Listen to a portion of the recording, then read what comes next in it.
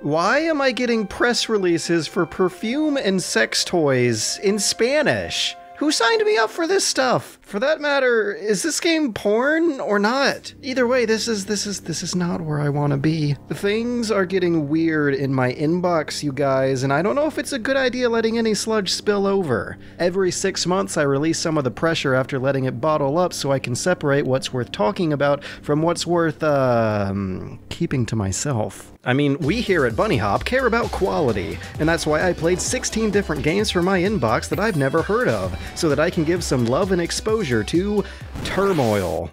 Having the opportunity to talk about a game like Turmoil is why I like doing this series so much. It's a novel idea, a gamification of the economic forces at play that determined how the West was won, and a great companion piece to any viewing of There Will Be Blood. You're one of four enterprising oil barons who will bid on the land and tear it up in search of black gold, managing plots of drills, silos, and wagon routes, earning you capital that you'll spend on equipment upgrades, loan interest, and the never ending urge to buy more and more land all to the tunes of an adventurous and western flavored acoustic guitar. But with that being said, I don't think Turmoil is a particularly good game. It sports the critical flaw of simply having not enough for the player to do. Oftentimes, there's just not enough variables and mechanics to throw around to keep you doing much other than waiting and seeing which company you should be selling to. Left company or right company. Whichever has the higher number wins. It's real basic, incredibly basic, cripplingly basic decisions like that that betray the good strategy game Turmoil could be. But that doesn't stop it from being an interesting game. And if you know much about my preferences of game, you should probably know that I oftentimes get more kicks out of interesting games than mechanically polished ones. Turmoil covers a setting and struggle that you're not likely to find anywhere else outside of the one free Flash game from 2008 that clearly inspired it.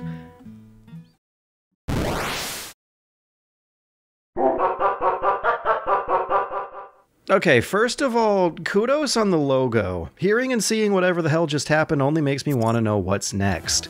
What's next is the opposite of upscaling inspiration from free Flash game. It is the downscaling of inspiration from expensive AAA games. Wasted. A post-apocalyptic pub crawler is 30% Fallout 3.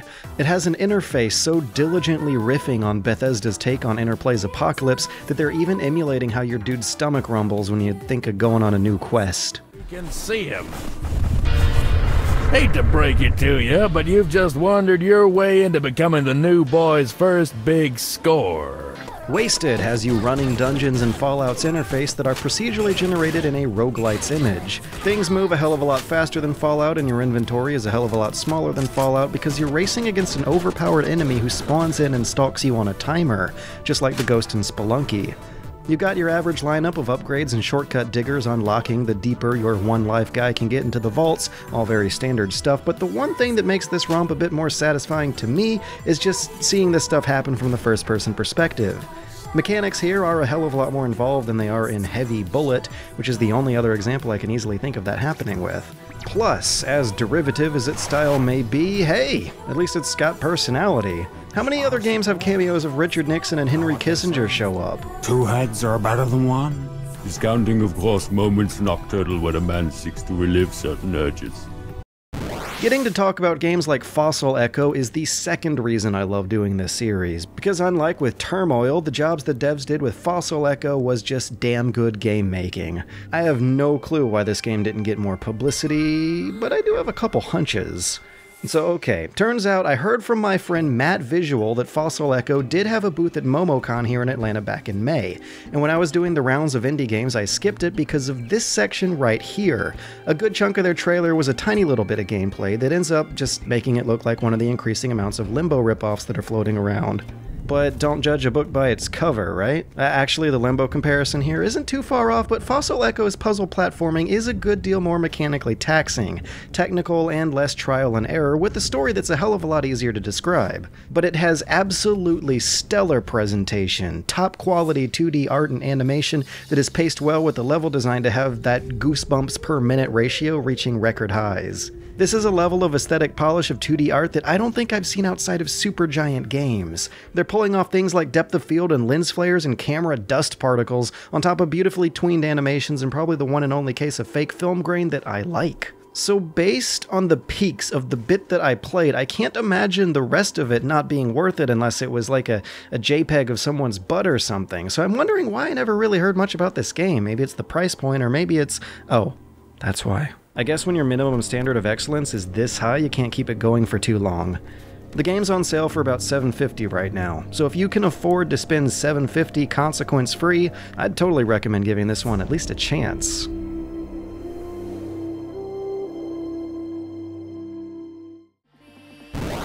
A press release bragging about a 600 track soundtrack featuring Jimmy Urine and DJ Cutman had me rushing to try this one out, and I am glad I did. The Metronomicon is a rhythm game with a rock, paper, scissors combat system about tapping your fingers to the beat of the music while also remembering the basics of RPG. You gotta juggle some simple rules about what beats what in a traditional role playing system to add a layer of depth on top of your dance.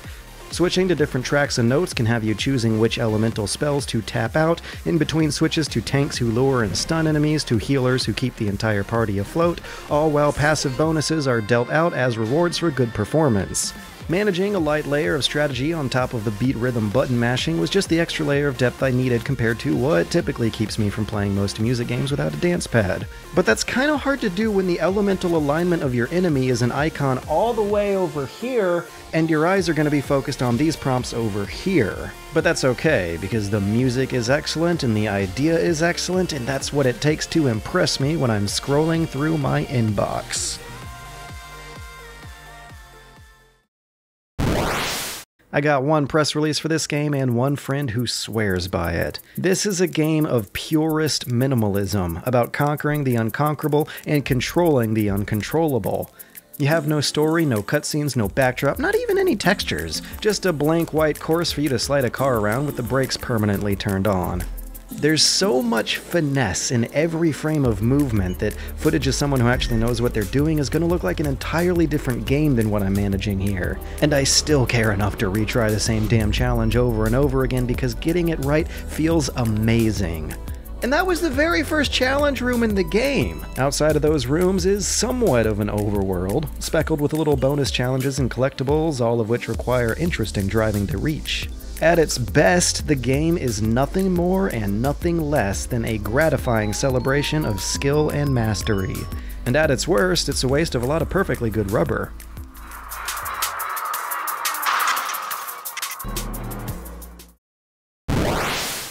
Right now, Dad Quest has like no level design.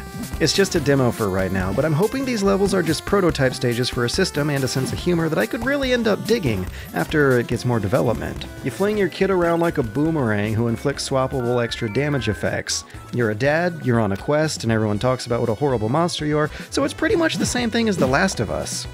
Plus, there's a healthy degree of customization and personalization to be had to suit your individual playstyle. Watch as I customize my avatar's attributions using a creative and innovative set of player motivated tools.